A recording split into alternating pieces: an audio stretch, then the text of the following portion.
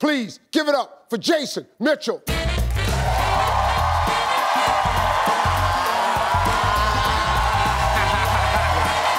I'm up here with Steve Harvey, baby. Yeah, you know, what, I mean? saying? I know my mama watching this. You always want to do something to make your mama proud. You For know? real, you know, and they got a few moments in your life where like you actually made it. Yeah. And the Steve Harvey show is one of the moments. You know what I'm saying? So I'm happy to be here. Man, Yeah. Uh, it's a pleasure meeting you, man. Same because, here. Uh, I got to tell you, man, I, I watched Straight Outta Compton. That was so spot on, Thank man. you. The Thank acting was amazing, man. And your portrayal of Easy E, what, what was it like, man, portraying a legendary rapper? What was that like? You know, it was it was crazy because he was such a bigger than life person. You know what I mean? So I had to really go over and beyond. Like, you know, I had to meet with his grandmother and meet with all the family members and, and just remember that he was a man just like I was a man. And you know, he put his pants on just like I put my pants on.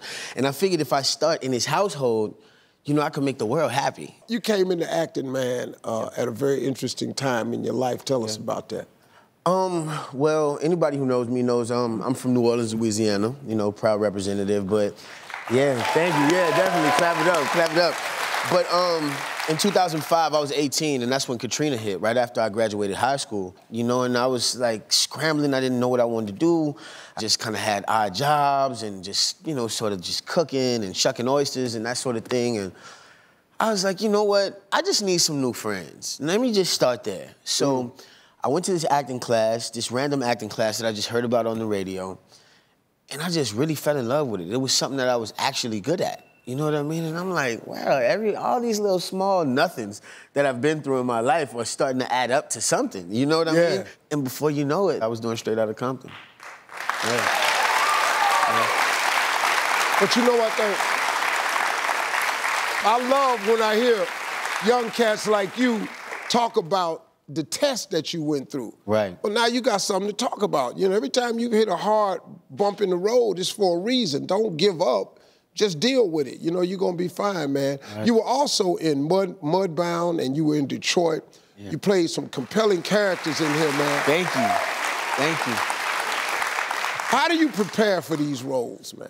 Every character that I build, I, I start with their opinion. Like, let's say you have a line, right, that says, Jason, I don't like birthdays. But if you have a backstory that says, when I was six years old, my mom, who was on heroin really bad, smashed a cake in my face and ruined my whole birthday party. That's why I don't like birthdays. Then it comes out a little bit different. You know what I mean? And it has a lot more essence. So in all of my characters, I have all of that prepared already. You can ask me what happened when I was 13 years old with XYZ, and I can just tell you, you know, and I, I dig into it like that. So I think it comes out good. I Yeah, that's that's amazing, man, because all of us we're the sum total of our past. If you try to erase moments, you leaving off pieces that you need. Right. See, coming up in the hood made me a survivor. Exactly. So no matter what they do to me or say about me out here, what you gonna do to me that ain't happened already? Right, we from the hood. You don't even matter to me. You know what I mean? That's really right. Right. Hey man, tell me about your character, Brandon, man, and, and what we can expect from him on Well, this new season. in, in season one, he loses his brother, and he can't really catch a break, you know? In season two, you see him really excel with this food truck, which is great for me because I really used to cook. So for me to be able to take what I had from my past and put it with a new character, you know what I mean? Like, it's just, it's, it's everything in the world to me. So for everybody to love it, it's just like, I feel like they love me, you know what I mean? Yeah, they do. Yeah, they do. yeah. All right, man, let's talk about this. You got two beautiful little girls. Yes, Royce and Rajay, that's my heart.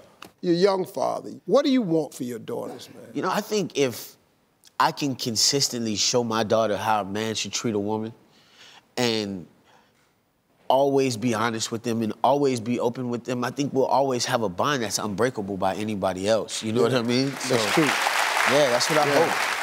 Hey, man, I got a lot of respect for you, man. I appreciate that. You won me Same over, man. You Same bad boy. Congratulations. Man, thank you. Big love, everybody. One more time, Jason Mitchell. And you can catch the premiere of the new season of The Chi Sunday, April 7th on Showtime at 10 p.m. Jason Mitchell, everybody. We'll be right back. Hey, you made it to the end of this video. I got a lot more that you're going to enjoy. So just click to watch the next one. And make sure you subscribe to always know what's happening.